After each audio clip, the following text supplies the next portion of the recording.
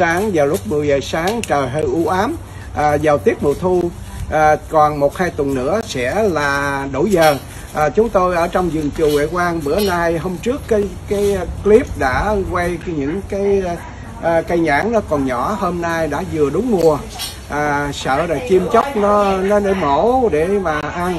À, trong rồi bẻ sớm để à, à, nhân cái ngày lễ tưởng niệm của ca sĩ Phi Nhung của ngày mai thứ ba để mà có thể hiến tặng cho bà con đến để mà à, dự lễ cũng như trong cả bà con phật tử trong những cái à, đóng góp cho chùa này. À, đây này quý vị thấy là những cái, à, những cái hình ảnh này quý vị thấy đó trong ở đây bẻ trên cao quá phải nó rớt xuống tầng lên và chúng tôi ghi nhận một hình ảnh này để cho quý vị có dịp để mà tham quan. Ngày mai nhớ cho quý vị vì thương phi nhung. Và chúng ta đem cái trái tim của mình thương để thắp một cái hương. à, À, để à, cho phi nhung à, có thể về chùa một cách thanh thoảng và hưởng được những ngày trăng sao dằn dặt và hoa trái của đủ mùa à, ở đất Cali ở phố thị Bonsa này. À, chúng tôi hôm trước đã cho quý vị quý vị thấy đó bữa nay là bẻ sẵn để ngày mai chúng tôi có thể phát cho à, tất cả những anh chị em. Nó ngọt ngào như quý vị à, ngọt ngào thương mến phi nhung một người phật tử à, rất là thuần thành và đem trái tim trải rộng thì hôm nay cái hình hài các bụi này trở về à, nơi quê hương à, tạm dung này à, đến với con của phi nhung. Thì hôm nay tất cả quý sư cô quý vị quý sư cô đứng đây coi. Đó, qua đây qua đây đứng đây coi. đó đó đó đó đó, tất cả qua đây coi. quý vị thấy ở trong rừng đó tất cả quý sư cô ở đây rất vấn đề nhãn ở đây thì ở đâu cũng có. nhưng mà quan trọng nhất là chúng ta có niềm vui và thân thiện với cái uh, thiên nhiên đó là một cái điều rất là quan trọng. Uh, chúng tôi nghĩ rằng là nhãn cũng là một cái vật thể. Nó nói lên cái hình ảnh của một sự tu tập của người à, con Phật là thấy những cảnh xung quanh để chúng ta tiến tu. Nếu có gieo trồng và có chăm sóc thì sẽ có kết quả. Người tu niệm Phật người tu thiền cũng thế thôi. Tất cả những gì thu nhận từ cái sự có mặt của à, dùng đất này và cây trái này. Và chúng ta cần phải chăm sóc. Một lần nữa kính chúc quý vị có một cái mùa thu được an lành. Và nhớ ngày mai ngày 12 tây tháng 11 đến thăm viếng à, để đốt cây nhang cho ca sĩ Phi Nhung. À, đó là cái thăm tình của chúng tôi được tổ chức tại chùa Huệ Quang trên đại lộ Westminster. À, như hàng năm nhưng mà năm nay đặc biệt năm nay vườn nhãn của chùa Huệ Quang quý vị thấy là vườn nhãn này đã được những cái cây này trồng ít nhất là không phải mười mấy năm rồi. Và ăn sâu dưới gốc rễ ở đi xa lắm nó mới hút nước. À, nhưng mà nhãn là một cái loại cần nước à, trong lúc nó lăn lớn. Nhưng mà ở Việt Nam thì sợ sâu rầy. Nhưng mà ở đây vẫn bị con rầy con mà rầy nó bám đó, nó đen đen đó rất là sợ. À, hoặc là chúng ta tưới nước nhiều quá thì cái cỡ trái này nó, nó bể ra nó nứt ra nhưng mà năm nay ở đây thì cái cây nhãn nó còn bây giờ nó không biết là trong vòng 3 tuần nữa nó sẽ ra sao. Bởi vì có thể bị nứt ra mà càng có ngọt thì càng có ruồi. Và có có ruồi thì bị con rầy. Cho nên chúng tôi hy vọng rằng quý vị có dùng nhãn này nên rửa cho nó thật sạch. À, đây là quý vị thấy dùng nhãn mỗi một cây nhãn nhánh nhãn như vậy nó quăng à, dưới lưng quần của chúng tôi ở đây. Mà mỗi nhánh như vậy đó quý vị thấy là à, cây nhãn này à, à được à, À, chư quý sư cô chăm sóc quét hàng ngày. Và hôm nay là ngày à, 14 à, tháng 8 của tiết trung thu tức là ngày 20 tây à, ngày thứ hai 20 tây của tháng 9 à, sắp sang thu rồi. Nhưng mà bữa nay có lẽ là ngày bắt đầu sang thu rồi đó. Bữa nay là thứ hai là sang thu. À, chúng tôi à, mong rằng quý vị hưởng những cái hình ảnh của thực tế của con người mà mình muốn. Khi mình muốn là mình phải chăm sóc giống như mình muốn tu thì mình muốn an lạc thì mình phải buông bỏ những cái không cần thiết để có những cái cái mới. Thì chúng tôi rời quê hương Việt Nam những cái khúc quanh đó năm 75 à, tôi đi ở quanh đây tại cái à, đất nước Hoa Kỳ này gần à, đi năm 79 78 79 và đến ở đây gần bốn mươi mấy năm. Thì những cái thời gian những cái đất nước này không có những cái loại trái cây này. Thì à, chúng ta muốn có được những loại trái cây này hình ảnh của thân thương thì chúng ta phải tự gieo trồng và thích hợp với cái đời sống, thích hợp với thời tiết. Thì cái người tu mình cũng vậy thì à, mình phải chọn những cái cách sống của mình như thế nào. Có sự an lạc thì mình thấy có cái cảnh giới mà mình mong ước làm gần bên đất Phật. Thì à, chúng tôi nghĩ rằng là những gì mình muốn thì mình sẽ cố gắng thực hiện mà một cách rất là hợp thời, hợp lý, chứ không phải chỗ đất nào mình gieo trồng. Thì đất này kali là đất mà chúng ta đang có những cái loại trái cây này. Quý vị thấy à, ngoài loại trái cây này, song song những cái hoa trái khác, quý vị thấy à, lựu chưa?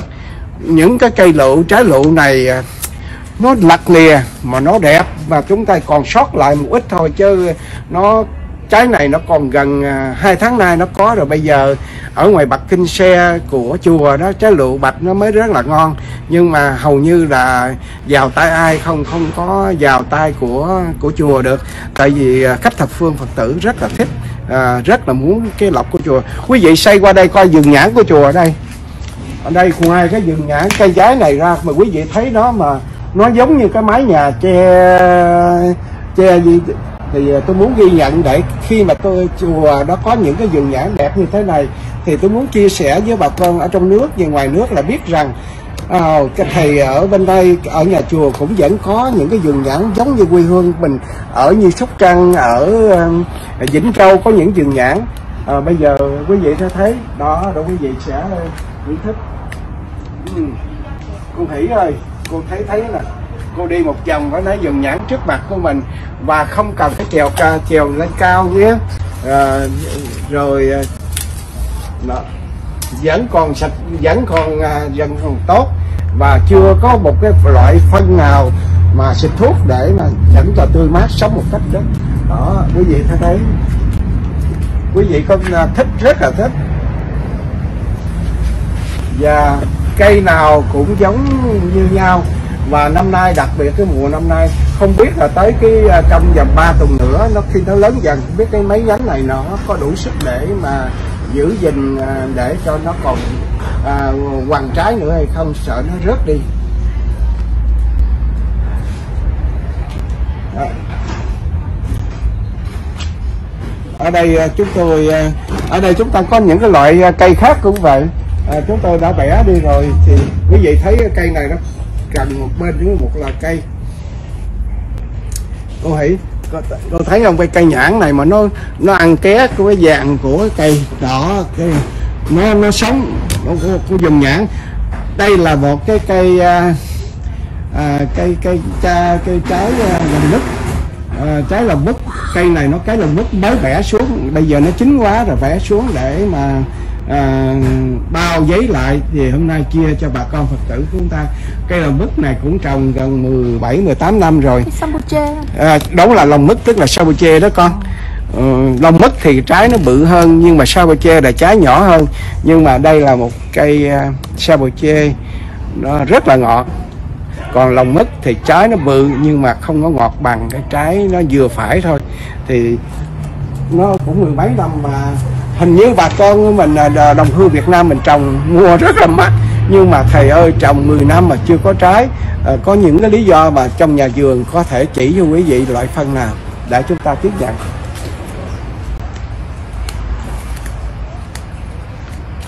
À, đây là cây à, cây sabuche. Bắt đầu nó bắt đầu mới lặt xuống mà nhưng mà nó đã trổ tiếp tục những cái cây khác trái khác rồi đó quý vị những cái trái mà nó đang chỗ bông đó, đều là những cây trái chuẩn bị.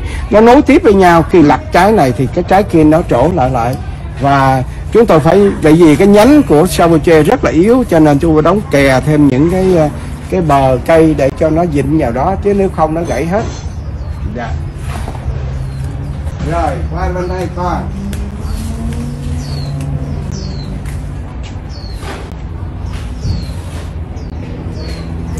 Bà con có biết đây là một cái loại cây mà chúng ta ở Hoa Kỳ rất là hiếm. À, à, ở đây là một ở bên đây gọi là cây hồng quân.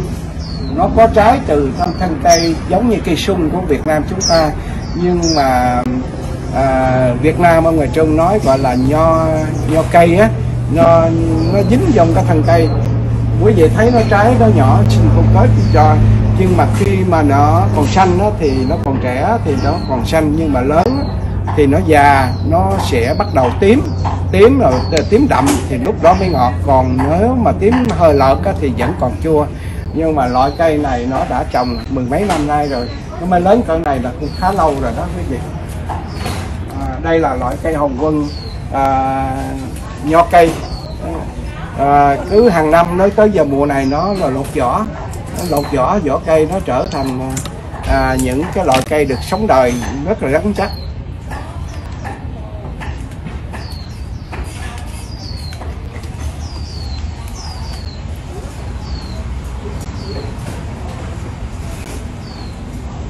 À, đây là một cái à, cây cốc à, Thái Lan nó lâu năm rồi mười mấy năm rồi à, qua mùa sắp mùa thu bẻ trái hết rồi chỉ còn những cái trơ cành thôi lá thì cũng chuẩn bị sắp rụng.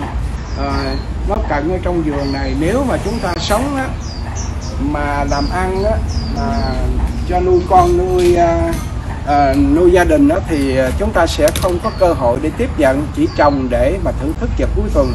Nhưng mà ở đây đó cái người à, trong nhà chùa ở đây về quan á à, chúng tôi muốn có những cái thư giãn của quý thầy quý sư cô mỗi giường tại vì nó là một cái sự à, nuôi nấng về tâm thức của mình có cái sự an lạc của đời sống của một người tu. Nó không phải nhất thiết phải tụng kinh không thích ngồi thiền. Chúng ta walking meditation ở trong vườn chùa. Và những cái cây này mà được có trái là do cái tâm thức của mình. Mình thương. Bởi vì cái cây là một cái loại uh, vô tình nó nhưng mà cây đá cây và trái cây đất đá nó do cái sự con người uh, thương mến sắp xếp để cho cái tảng đá. Những cái cây nó có thể uh, sống bằng tâm thức ngoài uh, những cái thức khác. Và chúng ta đang nói trong cái giáo lý còn cái tâm thức của con người đối như một cái loài cây mà muốn thương nó muốn có trái thì mình phải cố gắng thương nó và chăm sóc cho nó giống như chăm sóc một đứa con thì à, tôi vẫn nghĩ rằng tất cả những cái loại cây trong vườn chùa để mà che cái bụi bặm che mát đều là những vị hộ pháp cho chùa. Những người à, những vị mà cho chúng ta những cái tình thương là những vị bồ tát. Cái cây là một cái loại à, một cái trong những cái loại à, để chúng ta thực hiện đối tượng tâm thức để chúng ta tu và chúng ta sẽ quán chiếu những cái cây đó cho chúng ta có những cái buổi tu tập tốt hơn. Xin mời.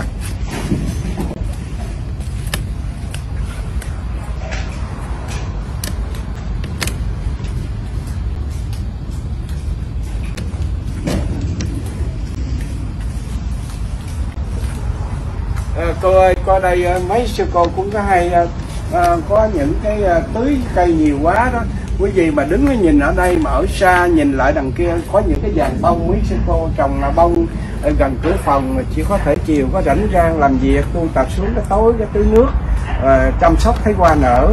À, và chúng ta đứng xa quay ngược lại chúng ta thấy ở đây tự nhiên là giống cái vườn ờ, vườn nhãn ở Vĩnh Châu ở Sóc Trăng đó quý vị.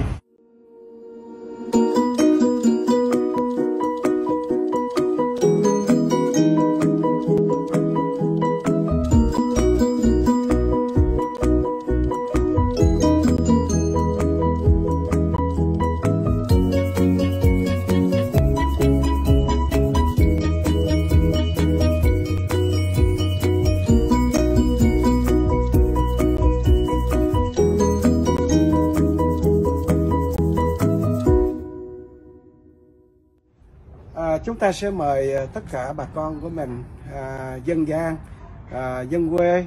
À, tôi cũng là người dân mặc dầu năm nay cũng lớn tuổi rồi không có làm việc nhiều nữa. À, cho phép chúng tôi được à, mời quý vị thưởng thức những cái vườn cây ở trong chùa mà do bàn tay của quý thầy quý sư cô chăm sóc. À, đây là cái ni xá của chùa trong đây có tới mười mấy phòng. À, mười mấy sư cô ở à, mấy ni sư rồi à, để dọc theo đây trong cái tường của chúng ta chỗ đây là quý, quý vị sẽ thấy trong vách chùa quý sư cô chỉ bước ra cửa khỏi phòng là thấy những cây trái ra trước mặt. Ờ, không cần phải lên chùa thấy Phật lại dài mà chúng ta thấy cây cũng là cái ảnh hưởng cái tâm thức của mình nhẹ nhàng rồi. Phật là đối tượng của tâm thức thì chúng ta cây cái nào mà làm lợi cho tâm thức của mình nhẹ bớt đi những độ ưu phiền là đó là Phật.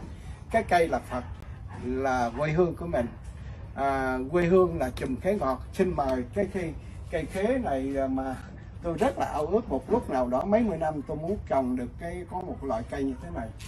Rồi quý vị à.